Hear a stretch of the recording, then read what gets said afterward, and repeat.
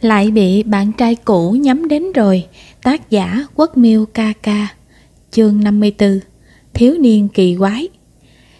Dương Gia Lập nghẹn ngào, Lời nói như mắc kẹt trong cổ họng. Sau một lúc lâu, Cậu nhắm mắt lại, Trong thanh âm rung rung Mang theo niềm hy vọng mỏng manh cùng khổ sở. Anh có thể thả tôi ra được không? Diệp Đình không trả lời, Hắn trầm mặt lấy từ trong ngăn tủ ra một hòm thuốc, Lấy ra cồn sát khuẩn băng cá nhân.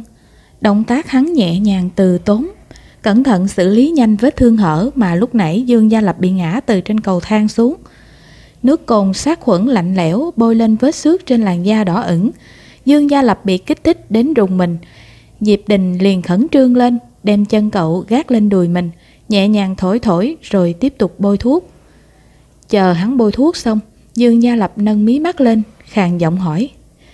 Anh muốn giam giữ tôi đến khi nào? Diệp Đình đem thuốc bôi và thuốc nước nhét trở lại vào hòm thuốc. Hắn ôm Dương Gia Lập, nhấp môi nói. Tôi không giam giữ em. Em muốn đi đâu cứ nói với tôi, tôi sẽ đưa em đi. Nhưng trước hết, em phải đồng ý ở bên cạnh tôi. Những ngón tay của Diệp Đình luồn vào mái tóc đen ngắn của Dương Gia Lập. Đừng làm cho tôi lo lắng. Dương Dương. Dương Gia Lập nói một cách thờ ơ. Đây là kế hoạch của anh đúng không? Ngay từ lúc bắt đầu về nước, anh giải tán nhóm nhạc, hại tôi thiếu nợ anh, bức ép tôi phải ở chung với anh. Anh đùa bỡn tôi bằng nhiều thủ đoạn, sử dụng nhiều biện pháp như vậy, chính là vì muốn từng bước bắt tôi trở về bên cạnh anh, biến tôi trở thành đồ chơi của anh. Ngón tay Diệp Đình chạm vào bên tai của Dương Gia Lập, cổ họng khô rác, hắn cố nén cơn nộ khí vào trong lòng. Nếu như là trước đây, Dương Gia Lập mà dám rời khỏi hắn, hắn sẽ bắt người trở về cho bằng được, sau đó cường bạo để trừng phạt cậu, để cậu không bao giờ dám rời xa hắn nữa. Nhưng hiện giờ, nhìn đến bộ dạng của Dương Gia Lập, lại nghĩ đến căn bệnh của cậu, Diệp Đình làm sao cũng không nở ra tay. Hắn ôm Dương Gia Lập vào lòng, dịu dàng nói, Em không phải là đồ vật, em là bảo bối của tôi. Ánh mắt Dương Gia Lập lay động, trong mắt chứa đầy huyết nghiệp. Diệp Đình, chúng ta đã nói rõ ràng lúc chia tay ở dưới tàn cây Thạch Nam, Tôi buông bỏ rồi, anh cũng không chịu quên. Bây giờ anh cứ cắn chặt tôi như chó điên như vậy. Có ý nghĩa gì chứ? Nguyên nhân lúc trước khiến chúng ta phải chia tay, hiện tại còn chuyện gì chưa giải quyết xong, tự trong lòng anh hiểu rõ. Ngực Dương Gia Lập rung lên, suy nghĩ miên man. Chúng ta đã chia tay 5 năm rồi. Quá khứ nên cho qua đi thôi. Diệp Đình vừa nghe thấy mấy lời này, đôi mắt hắn lặng đi. Hắn cong môi, sờ sờ vào sườn mặt của Dương Gia Lập, nói Tôi nói không qua đi, thì vĩnh viễn sẽ không qua đi. Dương Gia Lập ngẩn ra, lời nói bị chặn lại trên cổ họng. Diệp Đình bỏ qua chủ đề này, quay trở lại vấn đề chính, thấp giọng nói. Cho nên, trả lời tôi, em còn chạy trốn nữa hay không? Dương Gia Lập vô thanh vô tức, rụt đầu qua. Cậu vốn thẳng tính, nói dối không được. Một lời nói dối liền sẽ để lộ ra. Đối với vấn đề này, cậu đương nhiên sẽ trả lời là sẽ lại chạy trốn. Nếu có cơ hội, cậu nhất định sẽ lại giống như hôm nay, chạy thật xa tên chó điên này. Nhưng lời này không thể nào nói ra được. Dương Gia Lập chỉ đành chọn cách im lặng. Diệp Đình nhìn thấy phản ứng của cậu, mắt hắn tối sầm lại. Hắn bỗng nhiên nói, Tôi có thể sẽ không cho người đi điều tra về chiếc xe định chở em đi trốn. Sẽ bảo bọn họ dừng tay. Toàn thân Dương Gia Lập lay động, cậu kinh ngạc nhìn Diệp Đình. Diệp Đình cười cười, nhẹ giọng nói, Cục cưng, nghe lời nào, ôm cổ tôi đi.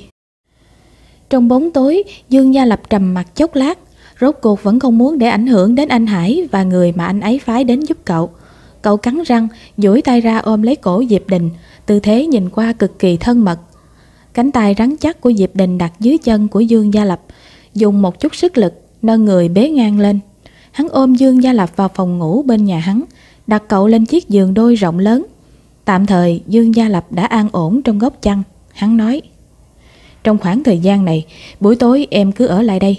Yên tâm, tôi sẽ không làm gì em, Chỉ cần em ngoan ngoãn mà ở cạnh tôi. Dương Gia Lập cười, Nằm ngủ bên cạnh anh Là cách để anh trông chừng tôi vào buổi tối sao? Diệp Đình không khẳng định, cũng không phủ định, Chỉ cúi người xuống hôn lên khóe môi của Dương Gia Lập. Đừng nghĩ nhiều, Ngoan ngoãn uống thuốc, Ngoan ngoãn dưỡng bệnh. An tâm đi theo tôi Chờ khi em hết bệnh rồi, cái gì cũng đều sẽ tốt đẹp lên. Tôi sẽ yêu thương em. Dương Gia Lập không nói gì, lấy chăn che lại hơn phân nửa khuôn mặt, nhắm mắt lại liền cảm giác trời đã rạng sáng. Chờ lúc Dương Gia Lập rời khỏi giường, vị trí bên cạnh đã trống không. Cậu ngồi trên giường phát ngốc hơn nửa ngày, xoa xoa vết thương đau trên đầu đã được băng lại. Lúc này cậu mới dần dần tỉnh táo lại. Chuyện bỏ trốn và truy bắt kịch liệt tối qua không phải là mơ, mà là sự thật. Cậu tới phòng ăn. Trên bàn có bài một bữa sáng nhìn rất ngon, bên cạnh còn có một tờ giấy. Nét chữ của Diệp Định cũng giống như con người hắn vậy, căng cốt sắc bén, cường thế bá đạo. Thức dậy nhớ ăn sáng, thuốc để bên cạnh, nhớ uống đấy. Đây là nuôi thuốc cưng sao? Dương Gia Lập cười nhạt một tiếng, ném tờ giấy. Tùy ý ăn hai miếng bữa sáng, uống viên thuốc, sau đó ôm A Phúc đang buồn ngủ ngồi trên ban công phát lục. Sắc trời rất đẹp, đây là một ngày ấm áp hiếm hoi kể từ đầu mùa đông. Dương Gia Lập vuốt ve bộ lông ấm áp trên đầu gối của A Phúc. Trong lòng đem chuyện đêm qua lướt lại một lần, lặng lẽ cân nhắc, rốt cuộc là làm thế nào Diệp Đình nhìn ra cậu muốn bỏ trốn rồi cho người chờ sẵn ở cổng tiểu khu. Cậu mãi nghĩ, chuông cửa vang lên mấy lần cũng chưa hay. Đợi qua một hồi, cậu mới đặt A Phúc xuống, đi ra mở cửa. Ngoài cửa là một chàng trai nhìn rất quen mắt, tóc hơi ngắn, đôi mắt to tròn, con người đen lấy. Không giấu được hơi thở của thiếu niên. Chàng trai này nhìn thấy Dương Gia Lập, rướng đầu xấu hổ hỏi. Xin hỏi chủ nhà này... Tổng, cái người hay xị mặt, không nói không cười, mặt như bị liệt, anh ta có ở đây không? Dương Gia Lập nói. Cậu tìm Diệp Đình. Chàng trai gật đầu lia lịa, đúng đúng đúng, chính là anh ta, chính là anh ta. Dương Gia Lập nói, cậu có chuyện gì sao? Uhm, tôi muốn hỏi anh ta một chút. Nam sinh lại dâng lên một chút xấu hổ, khuôn mặt trắng nõn đột nhiên ửng hồng. Anh ta còn muốn thuê lại căn nhà tôi ở không? Tôi có thể nhượng lại, tôi hiện tại có chút khó khăn. Dương Gia Lập chớp mắt để ý thấy chiếc đồng hồ Patek Philippe trên tay của chàng trai kia đã không còn nữa. Hết chương 54